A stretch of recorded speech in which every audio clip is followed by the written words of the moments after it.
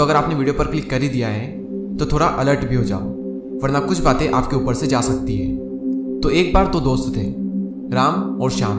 मुझे और कोई नाम नहीं मिले तो मैंने यही नाम ले लिया, सदाबहार, राम और श्याम। तो राम और श्याम ने एक बार एक कंपटीशन में पार्टिसिपेट किया था, और वो दोनों जीत गए। और जीत के तौर पर इनाम में उन्हें दो ऑप्शन दिए गए, कि या तो तुम दस करोड़ रुपए ले लो, या फिर एक रुपया ले लो, जो इकतीसवें दिन तक डबल होता जाएगा। यानी आज अगर एक रुपया है तो कल दो रुपये होगा, परसों चार रुपये होगा, फिर आठ, फिर सोलह, फिर बत्तीस, फिर चौंसठ, ऐसे वो डबल होता रहेगा इकतीसवें दिन तक। तो राम के मन में तो दस करोड़ का नाम सुनते ही कम कपी मचने लगी। उसने तुरंत ही दस करोड़ का हाँ बोल दिया और शाम निकला थोड़ा बोला, उसने एक रुपए के लिए हाँ कर दी कि मुझे तो एक रुपया चाहिए और अब कहानी में थोड़ा मज़ा आएगा। तो पहले दिन राम के पास में है दस करोड़ रुपए और शाम के पास में है एक रुपया, जिसको अपनी जेब में लेकर घूम रहा है और देख रहा है कि एक रुपये में इस दुनिया में क्या क्या चीज़ें मिलती है। हम थोड़ा आगे चलते हैं। पाँचवें दिन राम के पास में अभी भी दस करोड़ रुपए हैं और शाम के पास में अभी सोलह रुपए। हम थोड़ा और आगे चलते हैं। दसवें दिन राम के पास में अभी भी दस करोड़ रुपए हैं और शाम के पास में है अभी पाँच सौ बारह रुपए। पंद्रहवें दिन राम के पास में है दस करोड़ रुपए और शाम के पास में सोलह हज़ार तीन सौ चौरासी रुपए। शाम सोच रहा, साला, पंद्रह दिन बीत गए और अभी मेरे पास में सिर्फ़ सोलह हज़ार रुपए ही है और वो दस करोड़ लेके बैठा है। शाम को भी लगने लगा कि, यार, कहीं मैंने गलती तो नहीं कर दी दस करोड़ को छोड़ के। लोग भी उस पर हंस रहे थे कि दस करोड़ को छोड़ करके इसने एक रुपया लिया। उसने लोगों को थोड़ा इग्नोर किया और सोचा, चलो छोड़ो, अब जो हो गया सो हो गया। अब इंतज़ार करने के सिवाय हम कर भी क्या सकते हैं? अब बीसवें दिन क्या हाल है? बीसवें दिन राम के पास में अभी भी दस करोड़ रुपए हैं और शाम के पास में है पाँच लाख चौबीस हज़ार दो सौ अट्ठासी रुपए। यानी कि राम से अभी भी नौ करोड़ चौरानवे लाख पिचहत्तर हज़ार सात सौ बारह रुपए कम। पच्चीसवें दिन राम के पास में अभी भी दस करोड़ रुपए हैं और शाम के पास में है अब एक करोड़ उनसठ लाख सतहत्तर हज़ार दो सौ सोलह रुपए। और शाम थोड़ा खुश हो जाता है क्योंकि वो करोड़ तक तो पहुँचा कम से कम। लेकिन अभी भी उसके मन में डाउट था कि यार कहीं गलती तो नहीं कर दी। क्योंकि उसके पास राम से अभी भी नौ करोड़ तिरासी लाख बाईस हज़ार दो सौ चौहत्तर रुपए कम थे। यानी कि राम के पास में अभी भी शाम के मुकाबले नौ गुना ज़्यादा पैसा है। और अब हम आते हैं फाइनल डेट पर, यानी इकतीसवें दिन क्या हाल है? तो इकतीसवें दिन राम फुट फुट कर रो रहा और शाम ये सोचा कि न्यू कार कौन सी लूँ? घर पर दस करोड़ खर्च करूँ या फिर बीस करोड़? और दुनिया में सबसे बेस्ट जगह कौन सी है घूमने के लिए? क्योंकि इकतीसवें दिन राम के पास में अभी भी दस करोड़ रुपए हैं और शाम के पास क्या आप सोच सकते हैं कितना हो सकता है? वीडियो को पोस्ट करो, कैलकुलेट करो और कमेंट करके बताओ। कर लिया। अब मैं आपको बताता हूँ कि कितना होता है। एक अरब सात करोड़ सैंतीस लाख इकतालीस हज़ार आठ सौ चौबीस रुपए। पच्चीसवें दिन राम के पास में शाम के मुकाबले नौ गुना ज़्यादा पैसा था और इकतीसवें दिन शाम के पास में राम के मुकाबले दस गुना ज़्यादा पैसा है। और इसे हम कहते हैं पावर कंपाउंडिंग जिसे अल्बर्ट आइंस्टाइन ने दुनिया का आठवां अजूबा बताया है। अब इससे सीख क्या है? मैंने आप सबको ये बताया क्यों? देखो, ये सब बताने के पीछे मेरा एक ही मकसद था। आप सबको कंपाउंडिंग की पावर से रूबरू कराना। क्योंकि कंपाउंडिंग जो होती है, वो लाइफ के हर एक्सपेक्ट में काम करती है। वो चाहे आपकी हैबिट्स हो, आपकी चॉइस हो, या फिर वो पैसा हो। आपके द्वारा की गई हर चॉइस आने वाले 10 से 15 सालों में आपकी लाइफ में इतना बड़ा इम्पैक्ट डाल सकती है, जिसके बारे में आप सपने में भी नहीं सोच सकते।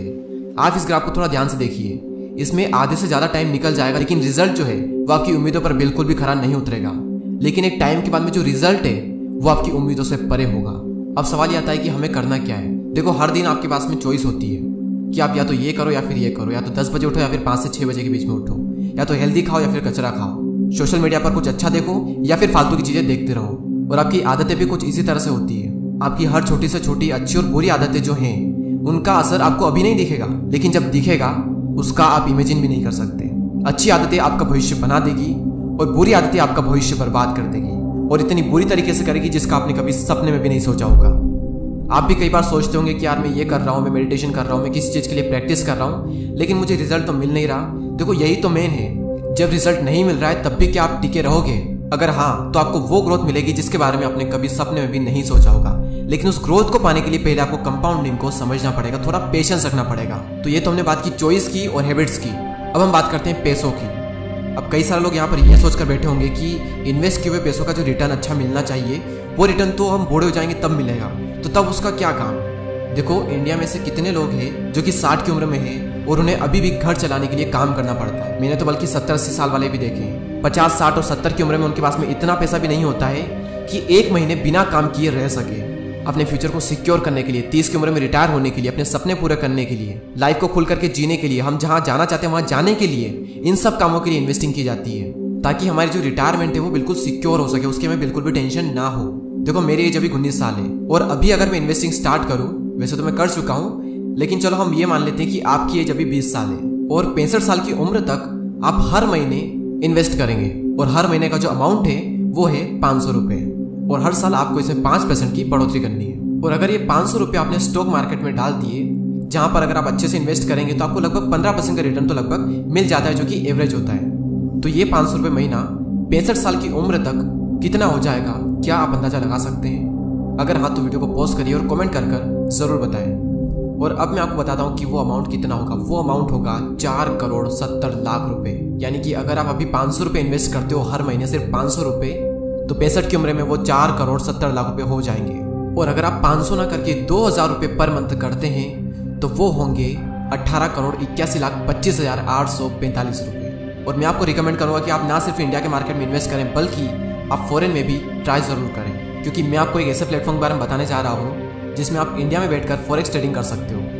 अब मैं आपको अल्फ़ा एफेक्स मार्केट के बारे में बताने वाला हूँ। अल्फ़ा एफेक्स मार्केट एक ऐसा प्लेटफॉर्म है जहाँ आप इंडिया में बैठकर फॉरेक्स ट्रेडिंग कर सकते हो। जी हाँ दोस्तों, यहाँ आपको इंस्टेंट डिपॉजिट और इजी विड्रॉल अवेलेबल होगा। और सबसे मज़ेदार बात तो ये कि यहाँ करेंसी कन्वर्जन के लिए कोई भी कमीशन चार्ज नहीं लगते। करेंसी कन्वर्जन के लिए वो डेली गूगल रेटी फॉलो करते हैं। और तो और वो लोकल बैंक डिपॉजिट के लिए भी कुछ भी चार्ज नहीं करते। और अगर आप मार्केट में देखोगे तो कोई भी ऐसा ब्रोकर नहीं है जो वीकेंड पर भी अवेलेबल रहता हो। लेकिन अल्फ़ा एफेक्स आपको निराश नहीं करेगा। आपके लिए ये लोग वीकडेज पर 24 फोर आवर्स अवेलेबल रहेंगे और वीकेंड्स पर 12 आवर्स यानी यहाँ पर आपको हफ्तों के सातों दिन क्लाइंट सपोर्ट मिलेगा। यहाँ तक कि आप जब भी चाहें उनसे कॉल पर बात कर सकते हो और अपनी स्क्रीन शेयर करके आप अपने सारे डाउट्स क्लियर कर सकते हो। और अगर आपको फॉरेक्स मार्केट की इतनी समझ नहीं है तो इनके फ्री कोर्स आपकी बहुत ज़्यादा हेल्प करेंगे। और ये क्लासेस हिंदी इंग्लिश और तमिल में अवेलेबल है, जो इनके एक्सपर्ट ट्रेडर्स लेते हैं। और यहाँ पर आप सिर्फ़ फॉरेक्स मार्केट में नहीं, बल्कि यूएस स्टॉक जैसे एप्पल माइक्रोसॉफ्ट गूगल में भी इन्वेस्ट कर सकते हो। वो भी बिल्कुल सिंपल स्टेप में और एक अकाउंट के थ्रू और आप ये मत समझना कि फॉरन ब्रांड है तो आपको इंग्लिश आनी चाहिए। मल्टीपल्स लैंग्वेज में आपको यहाँ पर सपोर्ट मिल जाएगा। लिंक डिस्क्रिप्शन में है। अभी अपना अकाउंट बनाइए और शुरू कीजिए ट्रेडिंग तो कंपाउंडिंग को इग्नोर मत करो, इसे समझो।